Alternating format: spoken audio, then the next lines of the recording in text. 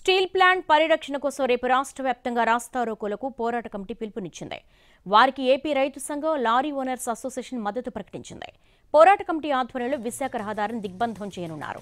గాజ్వాక కూర్మన్నపాలెం అగనంపూడి హైవేపై రాకపోకలకు అంతరాయం కలగనుంది. రేపు సీఎం ఉత్తరాంధ్రలో పర్యటించనున్నారు. ఈ సమయంలో పోలీసులు అప్రమత్తమయ్యారు. పర్యటనతో పోలీసులు అప్రమత్తమయ్యారు.